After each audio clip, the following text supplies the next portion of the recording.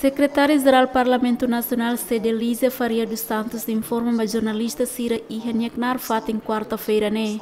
Cedelise actuir cada fulan hahu si fulan janeiro to março, né? Governo aloca det osan dua décimo milhão e da resi ba Parlamento Nacional. Tamane Cedelise considera orçamento refere executa baracliu ba de salário no transferência pública, nebe incluímos fiscalização comissão Cira ba município, nebe quase rium hat ou lima cada fiscalização.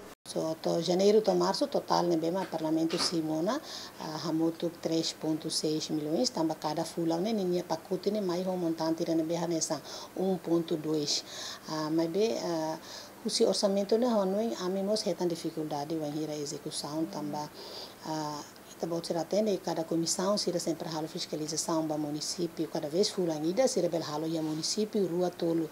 Mas be orçamento ida dot né né montante ida que quanto be então fulang ida né comissão ida sobre halo fiscalização né ba município ida de Uh, tamba hira ba município ida no orçamento ne ramata então ida nema dificuldade ne bema parlamento hasuru e hamos awanoi a população auto auto atende kata orçamento 2020 uh, cada comissão sira lá tau sir ne orçam ba viagem estrangeiro.